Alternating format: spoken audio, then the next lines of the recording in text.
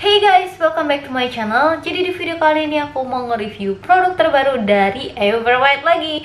Jadi kalau kalian yang ngecek, sering banget ngecek Instagramnya Everwhite Pasti kalian tahu kalau mereka punya produk terbaru lagi yaitu Everwhite Infused Micellar Cleansing Water Ini mengandung rose dan juga chamomile extract Tada! Nah, buat kalian yang kepengen tahu gimana review aku tentang produk terbaru dari Everwhite, apakah ampuh untuk menghapus makeup? Aku yang sekarang ini tonton terus video ini tapi jangan lupa untuk like, subscribe channel YouTube aku dan nyalakan notifikasinya. Oke? Okay?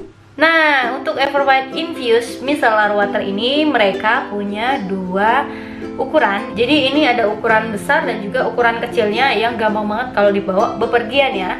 Jadi untuk yang gede ini dia 250 ml harganya itu 95.000 sedangkan untuk yang 100 ml ini dia harganya tuh 47.000 nah kalau kalian lihat di Instagramnya Everwhite biasanya mereka lagi ngadain promo. Jadi ya kalian pantengin aja tuh Instagramnya mereka siapa tahu aja mereka lagi promo ya dan untuk infuse micellar cleansing water ini, dia bisa digunakan untuk wajah, untuk mata, dan juga untuk bibir.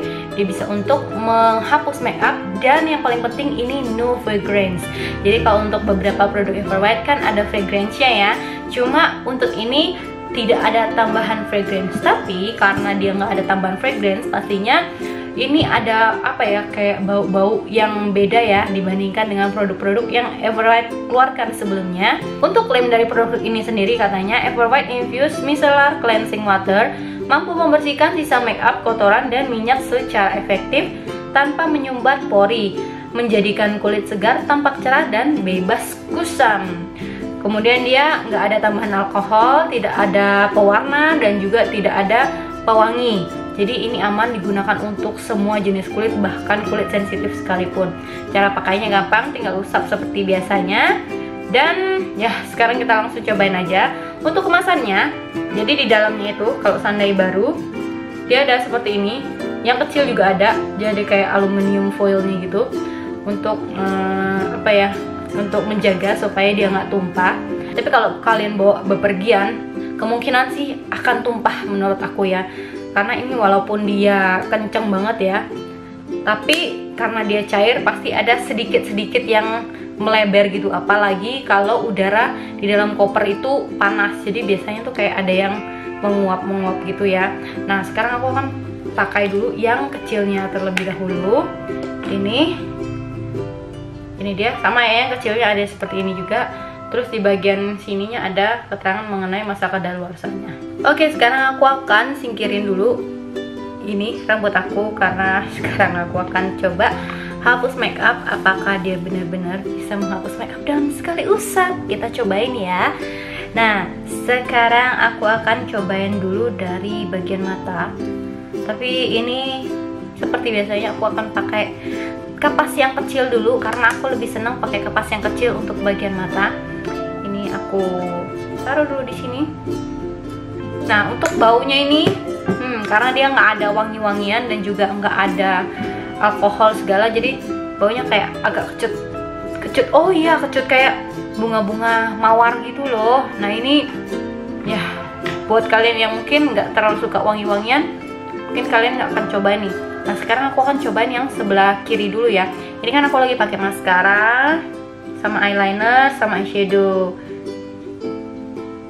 Sekali usap ya katanya ya oh iya lo beneran lo tuh shadow untuk maskaranya tapi belum itu ya karena aku pakai maskara yang waterproof jadi dia masih perlu beberapa kali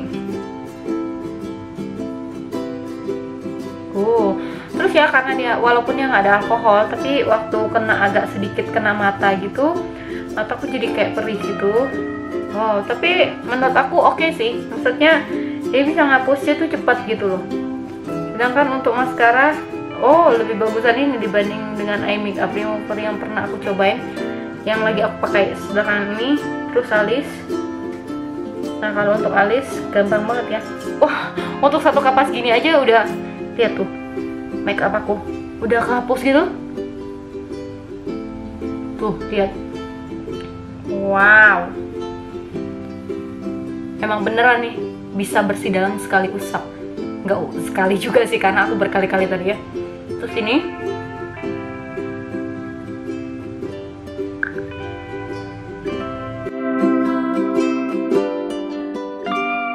Untuk lipstiknya. Waktu aku pakai untuk ngapus lipstick dia ada kayak pahit-pahitnya gitu ya. Hmm, pastikan kalian nggak kemakannya ataupun nggak keminum. Jangan ya pahit banget. Makanya mungkin di bagian mata tadi agak perih ya.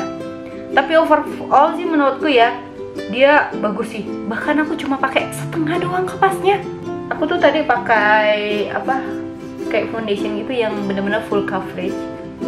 Hampir full coverage. Jadi biasanya kalau aku hapus makeup aku tuh perlu beberapa kali yang gede kapas gede itu tapi untuk ini cuma setengah aja kayaknya udah lumayan bersih gitu loh. Selesai guys. Ini dia hasil kulit aku. Tadi itu aku perlu dua kapas. Yang pertama kan tadi aku coba pakai yang kecil kemudian yang kedua aku pakai yang agak gedean karena aku mau sekalian ngebersihin yang lainnya juga. Dan hasilnya tuh bener loh. Dengan sekali usap aja foundation dan juga eyeshadow sekalian pokoknya dia gampang banget untuk hilang. Tapi minusnya kalau untuk aku ya dia kalau aku pakai di area mata kalau terlalu basah dia tuh kalau dia sampai menyerap di mata itu perih banget. Terus di bagian bibir juga kalau seandainya masih ada apa uh, sisa-sisanya gitu dia misalnya kita nggak sengaja ya ke uh, lidah kita keluar gitu. Itu rasanya pahit. Terus katanya sih kelebihan lainnya dia bisa bikin kulit itu jadi tampak cerah dan juga nggak kusam. Tahu sendiri kan produk Ever White itu terkenal dengan mencerahkan kulitnya. Untuk aku sendiri aku ngerasa ini uh, worth to try karena harganya tuh oke okay, masih tergolong terjangkau banget isinya juga banyak dan dia bisa untuk sekalian membersihkan seluruhnya.